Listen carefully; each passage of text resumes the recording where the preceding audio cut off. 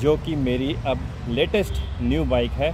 भगवान आपको खूब तरक्की दे और आप हमेशा सेफ़ रहो ये गाड़ी चलाते हुए।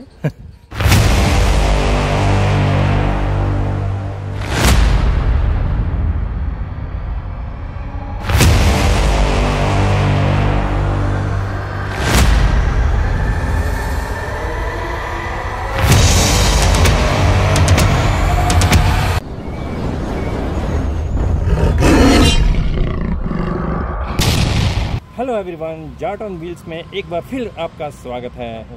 ये है मेरे पीछे खड़ी के टी एम एडवेंचर 390 बाइक जो कि मेरी अब लेटेस्ट न्यू बाइक है और बहुत ही शानदार पावरफुल बाइक है ये के टी एम एडवेंचर की 390 बाइक और मैंने काफ़ी रिसर्च करी और काफ़ी दिन तक मैं इधर उधर भागा, दौड़ा, तब जाके मैंने ये बाइक फाइनल करी है। जैसे कि आप जानते हैं जो भी मेरे पुराने ब्लॉग्स देखते हैं यो जो भी मेरे दोस्त हैं सभी को पता है मैं चार पाँच साल से पीछे मैं डोमिना चला रहा था। मैं डोमिनार का बहुत बड़ा फ़ैन हूँ और लगभग 65,000 किलोमीटर मैंने डोमिनार राइड करी है।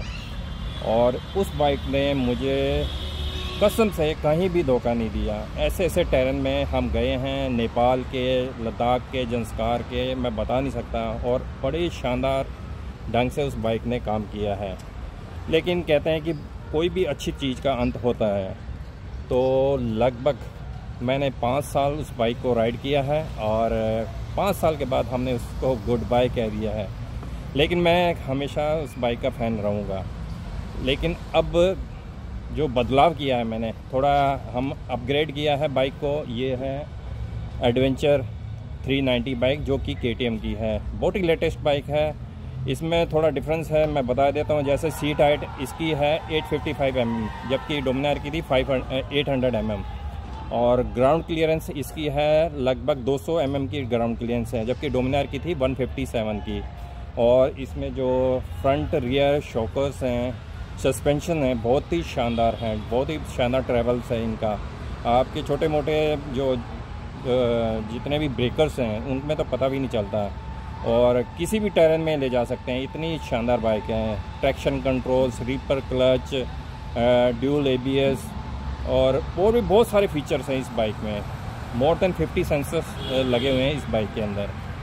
तो फ्यूचर में जितने भी अब हमारी राइड होने वाली है, इस के एडवेंचर के साथ होने वाली है।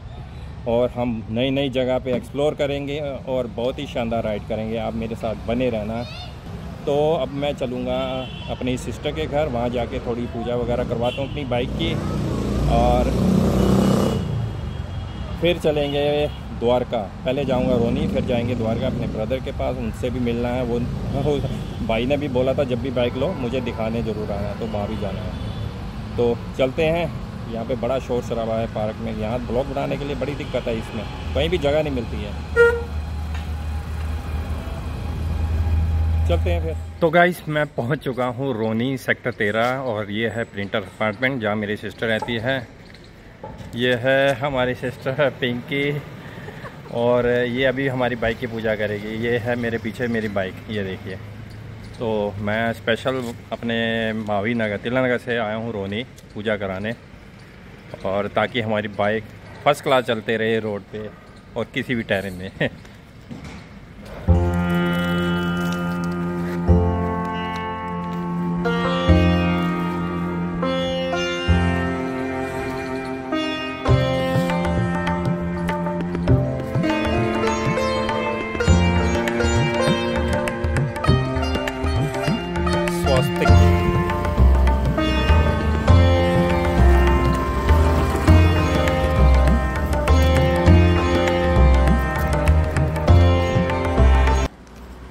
तो कुछ कहना है आपने?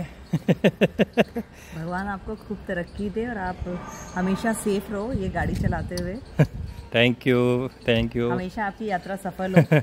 बाइक आपको सेफली लेके जाए और सेफली लेके आए। बहुत बहुत धन्यवाद। थैंक यू जी। आपकी सेवा पानी करें। थैंक यू ओके बाय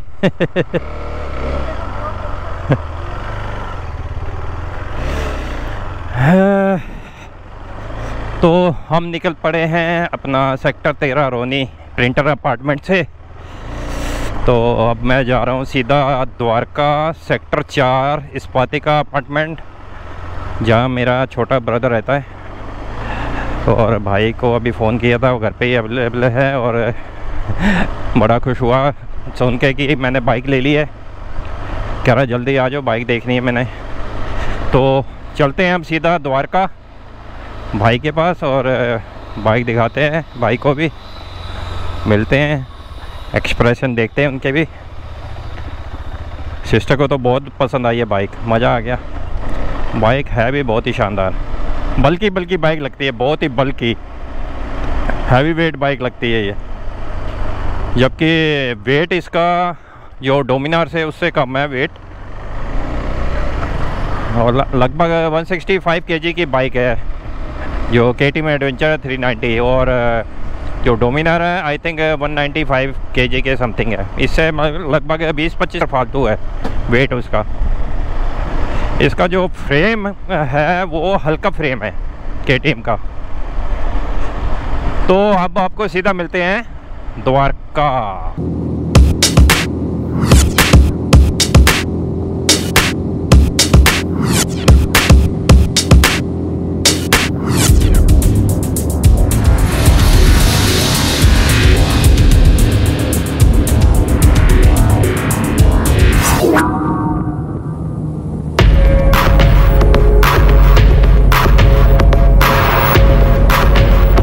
बातों ही बातों में पहुँच गए हैं।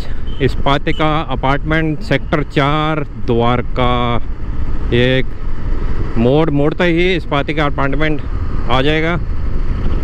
और हम जाएँगे अब अंदर। और उसके बाद अपने भाई को अपनी बाइक दिखाएँगे। ये है मेरे सामने इस पाते का अपार्टमेंट। चलते हैं अंदर।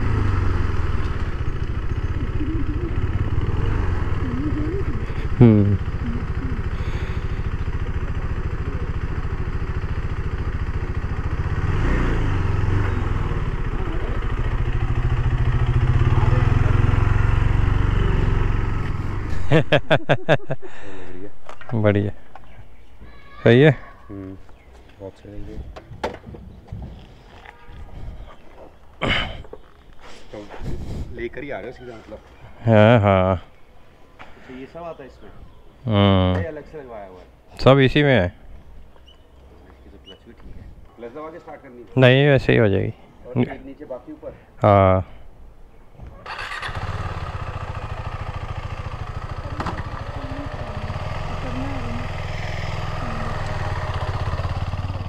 बाइक कैसी लगी?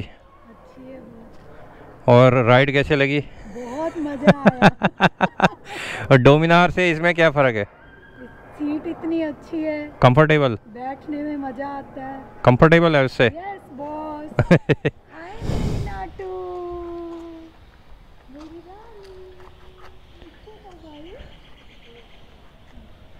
हाय बेटा। पापा ने बताया नहीं मैं आ रही हूँ।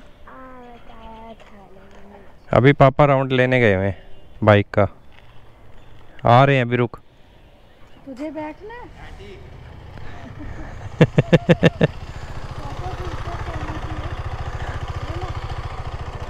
तो नहीं है वैसे एकदम।